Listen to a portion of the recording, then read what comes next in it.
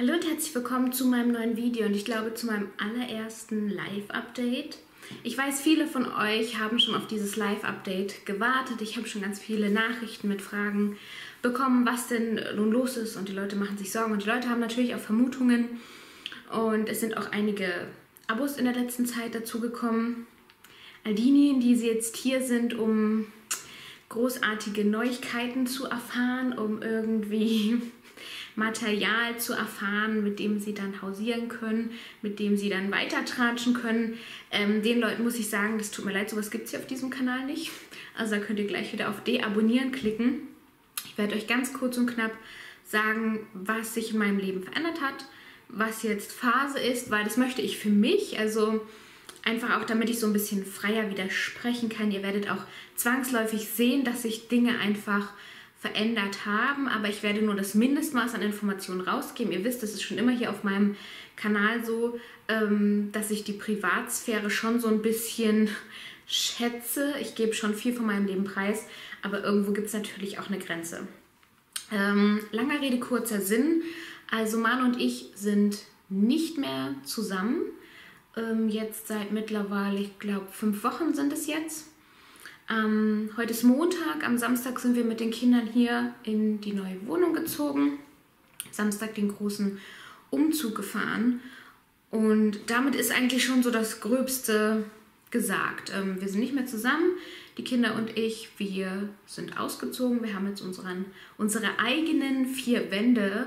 Und das erklärt, glaube ich, auch, warum ich A nicht so gut drauf war, warum ich am Ende meiner Kräfte war, warum hier auch nicht so viel los war weil ich diese letzten Wochen damit verbracht habe, ähm, ja, auf Wohnungsbesichtigungen zu gehen, diese Wohnung, für die ich mich dann entschieden habe, zu renovieren. Ähm, A, weil ich dann weniger Miete bezahlen muss und B, weil ich es natürlich auch irgendwie wohnlich machen wollte, weil ähm, ja, da ich jetzt ein Eigenheim für mich und meine Kinder schaffen wollte, ähm, dass sie sich da möglichst auch wohl drin fühlen. Ähm, genau, ich habe hier also renoviert, ich habe neue Möbel gekauft. Ähm, 10.000, gefühlt 10.000 Anträge ausgefüllt. Du hast einen Antrag abgegeben, hast den nächsten wieder mit nach Hause genommen und habe parallel natürlich auch noch irgendwie versucht, so ein bisschen zu arbeiten. Und ich weiß, dass ich selbst noch nicht die Zeit für mich gefunden hatte, das für mich ähm, richtig zu reflektieren, richtig zu verarbeiten, richtig zu überdenken auch. Ähm, ich glaube, da wird es irgendwann in den nächsten Wochen, Monaten dann wahrscheinlich mal so einen lauten Knall geben und ähm, Soweit bin ich aber noch nicht. So frei ist mein Kopf auch gerade einfach noch nicht, weil es noch so viel zu erledigen gibt, so viel an was ich denken muss. Ständig jeden Tag ist irgendwie wieder was Neues und ähm, das ist natürlich sehr, sehr belastend. Das geht natürlich äh, sehr auf die Kraft. Ich komme wirklich wirklich, wirklich, wirklich jetzt auch an meine Grenzen. Und immer möchte man natürlich ähm, für die Kinder auch so eine, so eine Stärke vermitteln. Ne? Man möchte auch sich für sich einstehen, man möchte für die Kinder auch da sein, man möchte da nicht irgendwie immer schlecht gelaunt irgendwie in der Ecke hängen. Und das habe ich, glaube ich, auch sehr, sehr gut hinbekommen. Nichtsdestotrotz zählt natürlich auch, ne, die Kinder dürfen auch wissen, wenn man traurig ist oder auch wenn man wütend ist, weil die erfahren müssen, dass solche Gefühle auch gefühlt werden dürfen, dass die da sein dürfen, dass das völlig in Ordnung und völlig normal ist. Ähm, genau, so über die Hintergründe der Trennung möchte ich auch gar nichts weiter sagen. Das kennt ihr so von mir, das wisst ihr so von mir und ich weiß auch, und das schätze ich ja so an euch, dass es auch völlig in Ordnung so für euch ist. Ähm, ein bisschen was werde ich aber trotzdem noch erzählen. Also es wird auf jeden Fall eine Wohnungstour geben. Aber im Moment sind wir halt einfach noch nicht so weit. Also mir fehlt noch eine Gardinenstange an der Decke, dementsprechend auch die Gardinen. Es ist noch ganz viel anzuschrauben, anzubringen und erst wenn das wirklich so weit ist, dass ich sage, ja, jetzt ist das so, wie ich mir das vorgestellt habe, dann drehe ich für euch auf jeden Fall eine Wohnungstour, weil hier sitzt der Teufel wirklich im Detail. Also ich habe mir bei jedem Wandtattoo, bei jedem Print, ich habe mir bei allem irgendwie was gedacht. Das hat schon so ein Konzept die Prints sind auch wirklich sehr, sehr persönlich, also die drücken auch was aus, die drücken die Philosophie von, von meiner kleinen, nun etwas kleiner gewordenen Familie auch irgendwo aus und das liegt mir auch sehr am Herzen. Also diese Wohnungstür wird auch wirklich sehr, sehr persönlich. Wie gesagt, ich werde euch so ein paar Prints und Wandtattoos zeigen, die ich halt so angebracht habe. Da seht ihr schon eins.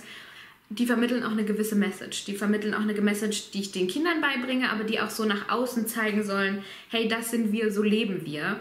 Ähm, Aktuell ist es für mich in der Wohnung hier noch nicht so einfach, muss ich sagen, weil es ist noch nicht mein Zuhause. Logischerweise.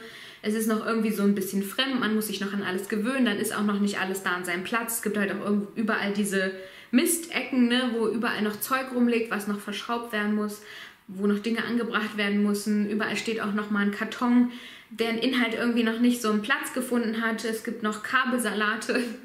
ähm, und ich glaube, erst wenn das so alles erledigt ist, wenn erstmal alles an Ort und Stelle ist, wir dann ein paar Wochen hier wohnen und das Ganze dann halt auch so mit Leben erfüllt wird, mit Lebensfreude vor allen Dingen auch erfüllt wird, wird es dann, glaube ich, auch zu diesem Punkt kommen, wo wir das auch unser neues Zuhause nennen können. Also im Moment reden wir nur noch ist es, reden wir noch nicht von unserem Zuhause, sondern von der neuen Wohnung. Also Vince fragt halt auch nicht, können wir wieder nach Hause zurück, sondern können wir in die neue Wohnung jetzt wieder zurückfahren. Das wird sich alles so äh, in den nächsten Wochen, Monaten hoffentlich dann so langsam einstellen. Ne? Es kommt halt äh, es, viele belastende Gefühle jetzt auch so bei mir natürlich. Ne? Da kommt zum einen Einsamkeit, Traurigkeit, was da halt so alles natürlich mit sich kommt, ähm, was ich auch verstärkt bei den Kindern merke, obwohl ich so merke, diese zwei Tage, die wir jetzt hier schon in der Wohnung verbracht haben, waren sie wesentlich entspannter und gechillter als die letzten Wochen zu Hause, weil es natürlich da ein größeres Konfliktpotenzial noch gab, ähm, was natürlich von den Kindern so weit wie möglich ferngehalten werden will, wird, aber man hat ja trotzdem so eine gewisse Schwingung da irgendwie und das merken die Kinder verstärkt. Vor allen Dingen noch so kleine Kinder wie Svea, die halt noch nicht so über die Sprache kommunizieren, sondern halt diese Schwingungen verstärkt wahrnehmen und dann eher über ihre Verhaltensweise kommunizieren als über ihre Sprache. Also die erste Nacht ähm, haben wir auch alle gemeinsam in meinem Bett verbracht. Das war auch sehr schön, weil die Kinder halt nicht so richtig einschlafen konnten. Die waren viel zu aufgekratzt. Und jetzt die zweite Nacht hat aber wirklich eins angeklappt. Die Kinder sind innerhalb von fünf Minuten eingeschlafen. Ähm, genau, man hat halt immer so ne, zwei parallele Seiten. Man freut sich irgendwo auf diese neue Zukunft hier in der Wohnung zu dritt. Natürlich gibt es da Ängste, Sorgen, also ähm, auch natürlich finanzieller Art. Also was ich die letzten Wochen so auch erlebt habe, ne, ist halt schon krass. Ähm, und das nimmt halt auch viel Raum im Kopf einfach auch ein. Ne? Und ähm, ja, ja, ich setze immer wieder einen Gedanken an, euch irgendwas zu erzählen, dann denke ich mir so, nee, nee, erzähl's lieber nicht, ist okay so. Eine Sache möchte ich auf jeden Fall noch ansprechen, weil ich weiß, dass das jetzt gerade auch viele meiner ähm, Freunde auf jeden Fall und meiner Familie sehen werden. Und ich möchte äh, dieses Format jetzt gerne auch nochmal nutzen. Ich habe es vielen auch schon so gesagt, aber ich möchte es gerne nochmal tun. Ich war so überrascht, überwältigt. Ich bin so dankbar und voller Liebe für die Menschen, die mir in den letzten Wochen beigestanden haben es ist einfach so überwältigend und kaum in Worte zu fassen. Jeder Einzelne war für mich da, egal ob das jetzt einfach so eine Unterstützung war, um mich aufrechtzuerhalten, um dafür zu sorgen, dass ich stark bleibe, dass ich für mich einstehe. Sei es ähm, mein Internet einzurichten, weil ich ja da so ein absoluter Noob bin. Ähm, sei es die ganze Verkabelung hier, sei es mit mir Küchenschränke aufzubauen ähm, sei es überhaupt Möbel zu schleppen, Kisten zu schleppen, Kisten auszuräumen, hier halt ein Heim daraus auch zu machen, aber wie gesagt auch in ganz vielen anderen Lebensbereichen einfach auch für mich da zu sein. Also ich war überwältigt von dieser Hilfsbereitschaft und die ist jeden Tag da. Also da sind jeden Tag sind hier Leute, die mir wieder irgendwo ein Stückchen weiterhelfen, sei es jetzt ähm, weil ich weiß, da kann ich hin und kann mit denen meine Sorgen besprechen oder sei es, dass sie wirklich hier vor Ort sind und hier halt irgendwas tun, dass es hier halt weitergeht. Und ich werde jeden Tag auch wieder überrascht mit, mit Kleinigkeiten. Ich habe so viele tolle ähm, quasi Geschenke hier bekommen, Einweihungsgeschenke oder wie man das nennen kann. Und wir haben so viele Pläne auch jetzt schon geschmiedet und es ist einfach so, so, so, so schön. Ähm, ja, also wie tatkräftig meine Familie hier halt auch am, am Malern war. Ne? Also ich habe halt quasi diese Wohnung renoviert und zeitgleich ja irgendwie auch gearbeitet und die Kinder betreut. Und ohne meine Familie wären diese Räume jetzt nicht so fantastisch ähm, anzusehen, wie sie jetzt sind. Und auch meine Freunde, also man hat natürlich, wenn man eine Beziehung beendet, ist das natürlich schwierig. Man hat ja irgendwo so einen gemeinsamen Freundeskreis. Man hat so die einzelnen Freunde, wo man sagt, okay, das sind meine und das sind deine. Aber der Großteil ist halt schon so ein gemeinsamer Freundeskreis. Und man möchte natürlich von niemandem, dass er sich für eine Seite entsch entscheiden muss. Und ich habe keinen einzigen Freund auf diesem Weg jetzt eingebüßt, sondern diese Freundschaften sind nur noch viel stärker geworden, viel herzlicher. Unsere Verbindung zueinander ist viel, viel, viel, viel stärker geworden, weil ich so eine krasse Unterstützung erfahren habe, so viel Liebe erfahren habe. Das ist einfach unglaublich überwältigend. Und selbst Leute, wo ich gesagt hätte, okay, das würde ich jetzt sagen, sind eher Manusfreunde, Nein, die gehen trotzdem hier ein und aus. Die helfen mir, wenn ich irgendein Problem hier in der Wohnung habe. Die haben meinen Balkon mit der ersten Zigarette eingeweiht oder so, ne? Ähm, oder mein, mein Bierflaschenöffner mit dem ersten Bierdeckel eingeweiht oder so.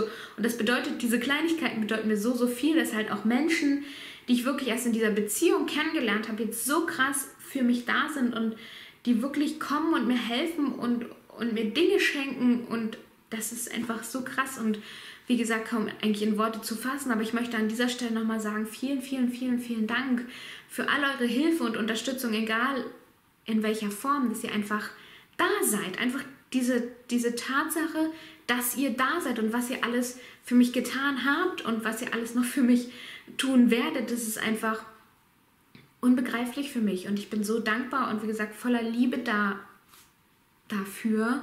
Und das ist auch etwas, was mir sehr geholfen hat, natürlich in dieser Zeit, jetzt in den letzten Wochen. Ich weiß, es kommen noch sehr, sehr viele harte Sachen auf mich zu in den nächsten Wochen, in den nächsten Monaten. Ich habe mir sagen lassen, das erste Jahr ist das schlimmste Jahr. Und ähm, ja, es wird mir sicherlich an einigen Tagen nicht so gut gehen, aber ich weiß, da ist halt, da steht halt so eine riesige Masse von Menschen hinter mir. Also es sind halt nicht nur zwei, drei, nein, das sind so, so, so, so viele Menschen hinter mir und das gibt einem so viel Kraft und so viel Aufschwung und es lässt einen gerade stehen und es lässt, lässt einen stark sein, es lässt, sich, lässt dich für dich einstehen. Ähm, das macht mich halt so unglaublich glücklich und das macht diese Situation auch irgendwie dadurch ein bisschen erträglicher. Ähm, wie es hier jetzt genau weitergeht, kann ich ehrlich gesagt noch nicht so genau sagen. Ich, also es wird, wie gesagt, auf jeden Fall eine Wohnungstour geben, wenn ich dann irgendwie mal weit, so weit bin. Wenn ich mich danach fühle, werde ich auch wieder vloggen. Jetzt kann ich auch wieder so ein bisschen freier vloggen. Ähm, Videohintergründe werde ich wahrscheinlich mal so verschiedene ausprobieren, mal gucken, was mir dann so gefällt, wie es thematisch weitergeht. Es wird immer noch auf jeden Fall darum gehen, wie du dir deinen Mama-Alltag leichter machen kannst. Ich werde mal schauen, was so die nächsten Themen sind sein werden. Ich habe viele tolle Bücher gelesen in den letzten Wochen, kann ich euch auch auf jeden Fall sagen.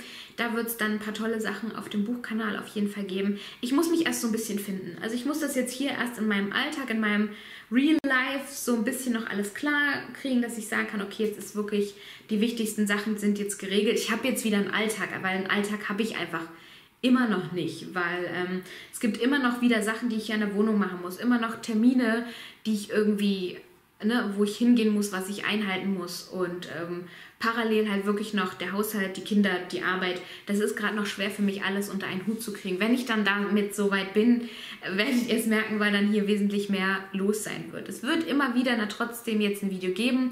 Ich kann aber nicht sagen, wie regelmäßig das jetzt sein wird, wann das sein wird. Ähm, ja, dafür habt ihr den Kanal abonniert, dass ihr das immer erfahrt. Folgt mir da auch gerne auf Instagram, da sage ich das immer Bescheid. Instagram ist sowieso eine schöne Sache, weil ich das schon versuche, täglich in den Stories wenigstens so ein bisschen was zu zeigen. Jetzt kann ich das auch wieder ein bisschen freier machen, da jetzt, da ihr wisst, was los ist. Und ähm, da freue ich mich schon sehr drauf. Und jetzt ist es erstmal erzählt. Ähm, danke auf jeden Fall für eure Unterstützung, für eure vielen Nachrichten, die mich erreicht haben. Und ich werde dieses Video jetzt an dieser Stelle beenden, werde mich sofort an meinen PC setzen. Das wird übrigens auch noch interessant, wenn ich euch dann meinen Arbeitsbereich zeige. Das war hier so ein bisschen schwierig unterzubringen. Werde mich jetzt also an den PC setzen, werde das Video schneiden und dann auch gleich für euch hochladen, weil ich weiß, dass viele, viele von euch auf dieses Video warten. Ähm, und bin gespannt, wie sich jetzt die Abonnentenzahl verändern wird. Gut, ähm, ich wünsche euch allen das Beste. Ich wünsche euch so fabelhafte Freunde, so eine fabelhafte Familie, wie ich sie haben will. Und wir sehen uns irgendwann demnächst wieder.